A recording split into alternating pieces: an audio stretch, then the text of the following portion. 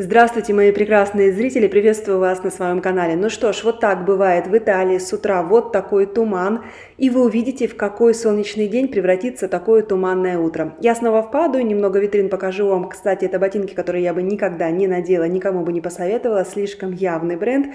А вот такие украшения с цветными камнями, они полюбились мне как раз таки здесь, в Италии. Сегодня будет очень много хорошо, красиво, интересно одетых людей. Я как всегда, надеюсь, что многие из вас смогут найти вдохновение для себя в этом видео. Но сразу могу сказать, что для меня этот стрит-стайл, стрит-стайл, который, возможно, будет разделен на два, а то и на три видео, это стрит-стайл очень необычной обуви. Все, итальянки переобулись, переобулись в обувь исключительно итальянского плана. Это обувь, которая блестит, переливается. Мы сейчас увидим очень интересные, очень интересные мокасины. Девушка была столь любезна, я ее даже не просила, несколько опешила, не успела ракурс навести, а, потому что я попросила заснять ее обувь. Это бархатные мокасины с прекрасным украшением стразы, пайетки, что мы здесь видим, бисер, но очень-очень красиво. И она была столь любезна, что, в общем-то, показала мне бренд. Его было очень плохо видно. Она мне сказала, я подозревала, что многие будут меня спрашивать. И вот она сняла, вот она сняла любезно свою обувь. Если вам интересно, если вам интересно. Я, кстати, мне кажется, угадала, что это за бренд. Сначала он показался мне незнакомым. Я стою напротив фурлы. Очень мне понравились эти сумки. Это, по всей видимости, уже летняя коллекция, новая, судя по цветам. И снова обращаю ваше внимание, как можно красиво а, дополнить свою сумку, любую сумку, вот с такой классической ручкой, либо кроссбэк. А на этой витрине мне захотелось вновь обратить ваше внимание на кожаные широкие брюки палаццо, а также на брошь, которая носятся в Италии очень часто на верхней одежде, и поверьте мне, это смотрится очень-очень эффектно, но витрина бликовала. И я уже обращала внимание осенью по, скажем так, еще теплой погоде, что пуховик плюс юбка-карандаш, узкая юбка чуть выше колена смотрится неожиданно красиво для меня. Таких вариантов тоже я засняла, их будет достаточно. И также хочу сказать, что помимо необычной обуви, в которой переобулись итальянки, для меня это стрит-стайл, также тонких колготок черного цвета. Вы не поверите, как мне, скажем так, было, было приятно наблюдать женские ноги вот в таких тонких черных чулках.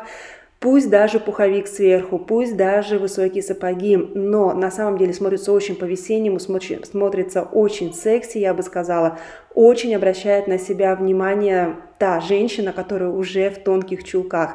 Возможно, ей слегка прохладно, но, как мне очень понравилось, кто-то написал мне в комментариях, ей не холодно, ей красиво. Это действительно так. Хочу обратить ваше внимание снова на цветные шнурки. Если есть у вас просто кроссовки спортивные либо а спортивные, пожалуйста, поменяйте шнурки, и вы получите новую пару прекрасной обуви. Этот э, outfit, как я люблю говорить, эта компоновка меня заинтересовала. Покажу вам цены, прежде всего тем, что, что называется, все намешано. Я бы так не оделась, но мне показалось очень-очень интересно, ну и, что называется, носибельно, по-другому не скажешь. Понравилась мне эта скромно висящая дубленка, которая стоила 2000 евро. Вот уж действительно вещь, по всей видимости, очень качественная, потому что ну никак она не смотрится на эти деньги. Делаю снова подборку мужского стрит-стайла и мужских витрин, но здесь хочу обратить внимание не только модников, но и модниц, которые смотрят это видео на джинсовую рубашку. Очень-очень эффектно, очень-очень красиво и очень-очень редко кто использует джинсовую рубашку в качестве базы, которую можно использовать вместо белой футболки. На самом деле присмотритесь к джинсовой рубашке из темного денима, как на той витрине, которую я вам показала, либо из черного денима тоже показывала, это была витрина Пинко. Здесь прекрасное сочетание цветов, плессированные юбки, популярных нам, по всей видимости, предложат носить и весной также, потому что это уже весенняя витрина.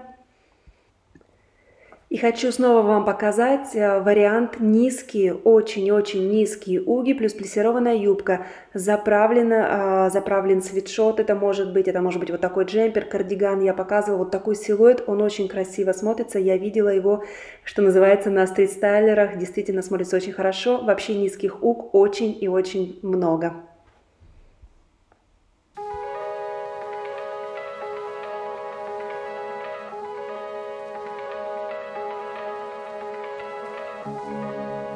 Это магазин Кальцедония, и я тоже рассказывала, что в Кальцедонии традиционно продаются очень хорошие кожаные, точнее, из эко-кожи леггинсы. И также мне очень понравились вот эти колготки. Я очень люблю колготки с любым рисунком геометричным. А, на самом деле на модницах, на себе тоже очень-очень часто ношу и, возможно, даже неоднократно показывала.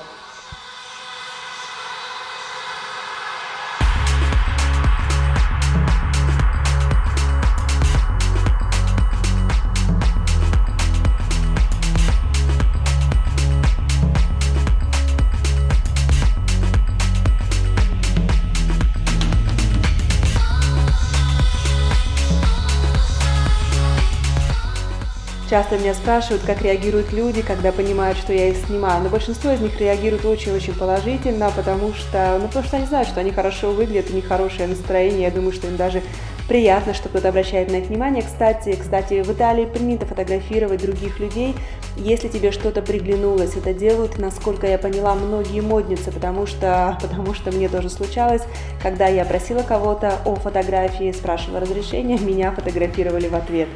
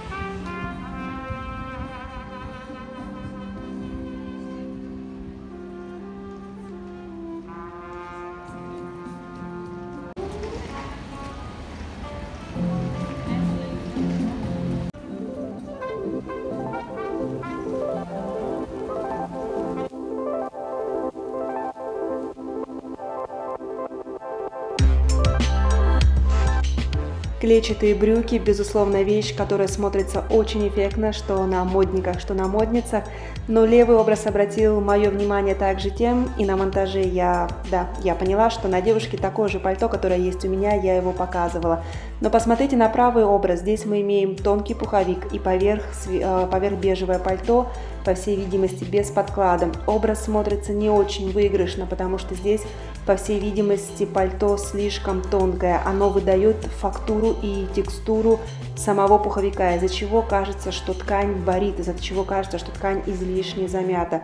И опять же, если вы используете вариацию верхняя одежда плюс верхняя одежда, все-таки должно быть явно видно, что у вас два слоя верхней одежды, то есть либо рукава значительно короче на верхнем слое, либо а, нижний слой по подолу выглядывает достаточно значительно, чтобы все, кто вас видит, могли понять, что на вас верхняя одежда плюс верхняя одежда. Кстати, весенние витрины Massimo Dutti предложили наоборот, поверх тонкого бесподкладочного пальто тренч.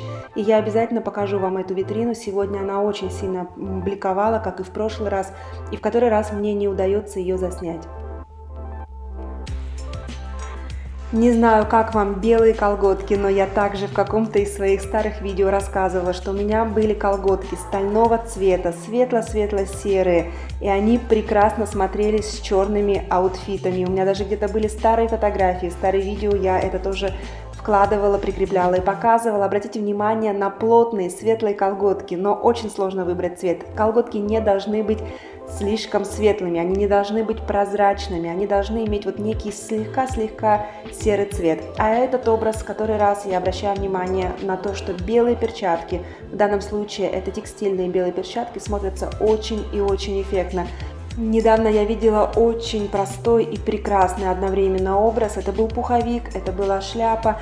Сеньора была элегантного возраста, у нее были белые кожаные перчатки, но снимала я в тот момент стояла таким образом, что она была против света. Я засняла, но на монтаже увидела, что ничего разглядеть не удастся ни мне, ни вам. Но обратите внимание на белые перчатки, они тоже потрясающе эффектно смотрятся. Также я заметила, что на мужчинах и на женщинах очень и очень красиво выглядят брюки со стрелками. При том, при всем, что у меня проблемы с глажкой, я поняла, что модель брюки со стрелками смотрится крайне выигрышно. И снова это пример, пример того, как итальянки начинают переобуваться. Посмотрите, какие были красивые мокасины. Кстати, итальянки носят бежевые колготки, бежевые чулки, но, кстати, часто это действительно просто гольфы до колена.